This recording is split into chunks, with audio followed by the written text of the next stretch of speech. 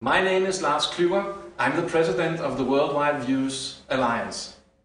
If you think it is important what citizens from all over the world think about climate change policy, and you think it is important what will be decided at the COP15 negotiations in Copenhagen, then I have an important message for you. Citizens from all over the world in the Worldwide Views project said that they want strong and fast action in Copenhagen.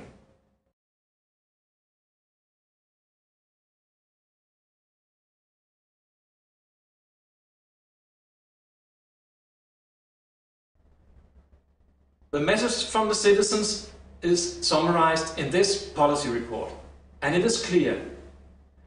They want a deal to be made at COP15 with a long-term goal of no more than 2 degrees Celsius.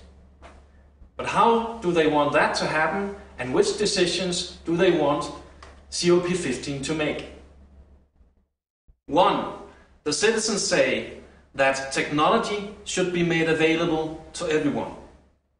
And they even suggest solutions such as open source technology, limited intellectual property rights, or transfer of capacity and technology from rich countries to poor countries. Two, make strong international institutions. The citizens want institutions that can monitor compliance and punish non-compliance. Some even talk about a global climate court. When it comes to financing, the citizens prefer an automatic mechanism, like for example a tax, instead of voluntary contributions. 3. Everyone should contribute to reducing greenhouse gas emissions.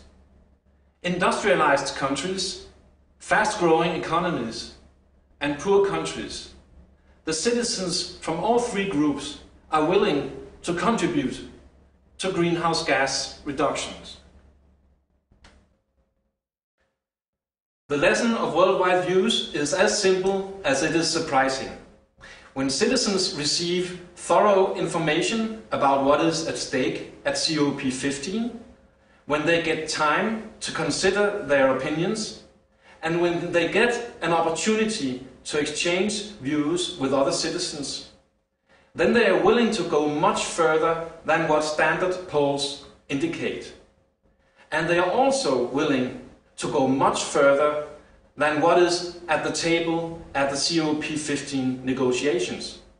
I think that is worth taking to Copenhagen.